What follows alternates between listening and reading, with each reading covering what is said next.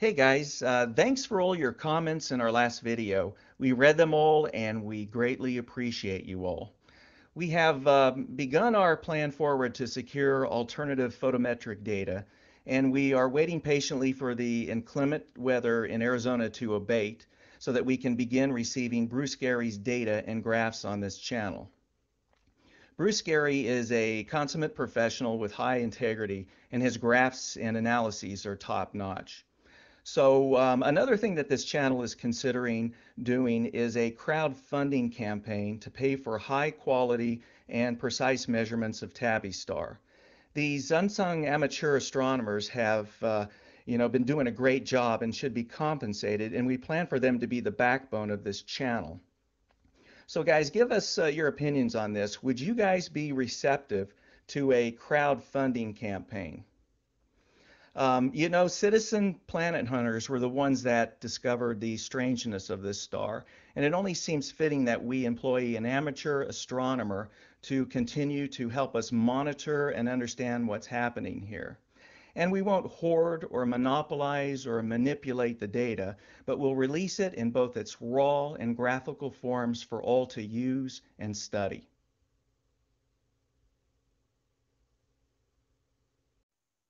So guys, uh, for our second topic, we will show you the results of some analysis that we performed on the data of an amateur astronomer that posts on AAVSO.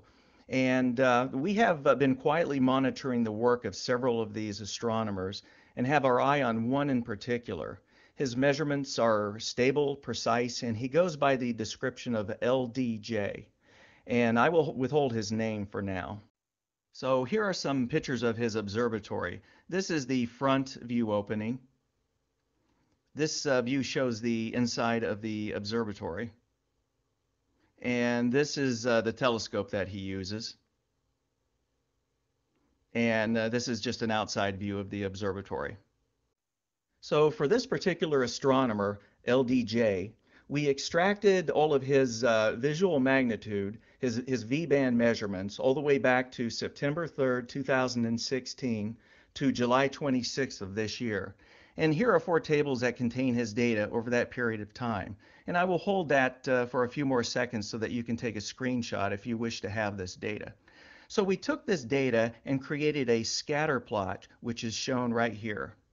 The circles represent each of the data points. And here is in highlight are the two short-term dimming events that happened earlier this year. So generating a best fit curve across these data points, we get the following red curve here. So guys, as you can plainly see, the long-term accelerated dimming curve is very much alive and kicking. And this is even more independent evidence of its existence, which this channel first discovered back in May 29th of this year. Guys, we beat the pros to the punch on this one, and they just don't like it one darn bit. So it gets even better, guys. Since we have all the values and dates for each of these points on the graph, let's calculate the recent slope from this curve. These two data points fall close to the curve. One is right on, and the other is slightly higher than the curve. So we will uh, make a small adjustment on this one in just a second. So these are the dates and corresponding visual magnitude values of those two data points. And so this equates to 1.54 months between measurements. So doing the math, the slope at this point on the curve is approximately 0.39% per month. And if you consider that this data point is slightly higher than the curve, our estimate is that the instantaneous slope of this curve at this time is 0.40% per month. This is exactly what we calculated in an earlier video, which is shown right here. So guys, everything we calculated and said before still stands today. Our long-term accelerated dimming curve and corresponding equation that we use is still valid. We will convert our flux equation from a normalized flux to a visual magnitude in an upcoming video and use that one instead. So here is the superposition of the blue long-term accelerating dimming curve on an earlier version of the graph before it was changed. And this is what it looks like today after the graph was changed.